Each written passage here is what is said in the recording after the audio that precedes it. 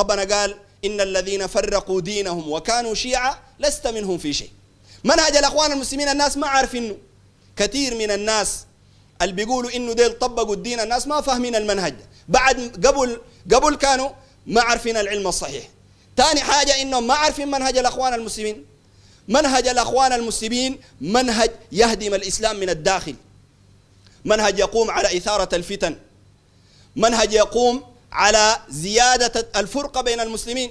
يعني من قواعد الإخوان المسلمين الأصيلة عندهم إنه يقول لك نعمل جميعا على ما اتفقنا عليه ويعذر بعضنا بعضا فيما اتفقنا فيه. نكون كلنا سوا.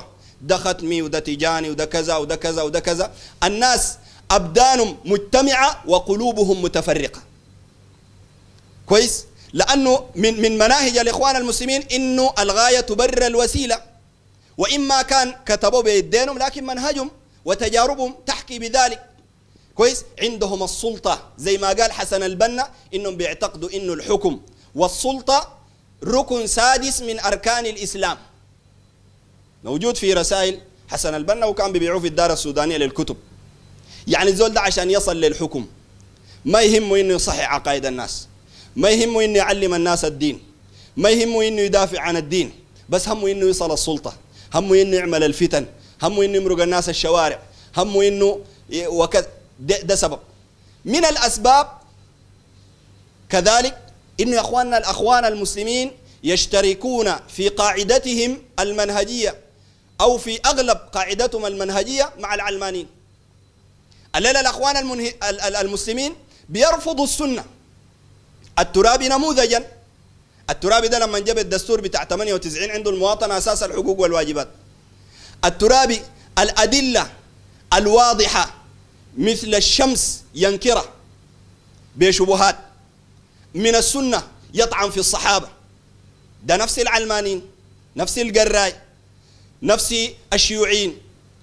السنة ذات الدليل برضو يردوا بيزعموا إنه ده حديث احاد أو ما حديث احاد أو كذا مع إنه يا ربنا قبل الاحاد في القرآن يا أيها الذين آمنوا إن جاءكم فاسق بنبأ فتبين. فالقاعدة بتاعت الأخوان المسلمين المرجعية حقتهم المنهجية بتشترك في كثير من نقاطها مع منو؟ مع العلمانيين. الأخوان المسلمين لو قريت كتاب اسمه العدالة الاجتماعية لسيد قطب بيسب الصحابة.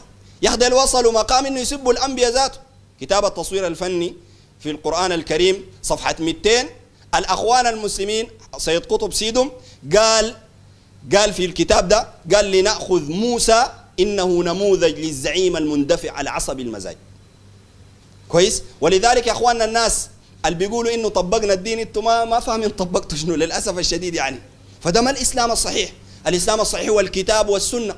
طيب السؤال اللي بيطرح نفسه ان إحنا نعرف الحق كيف؟ نحن نعرف الحق بضابط وهو منهج السلف الصالح. اختلفنا في آية.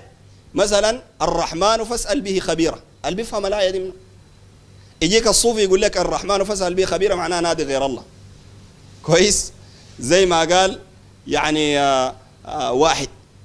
كويس؟ الفهم الصحيح زي ما ربنا عز وجل قال فاسألوا أهل الذكر إن كنتم لا تعلمون. هنا السؤال سؤال علم وفائدة وليس سؤال دعاء وعبادة. فالناس لما بيقوا بعيدين عن العلم الصحيح وانتشرت فيهم الخرافة وبقى ما في زول بيرد الشبهات وكذا وكذا يعني مثلت تجربة الأخوان المسلمين هذه التجربة السيئة. نسأل الله أنه يعني يكفي المسلمين شرا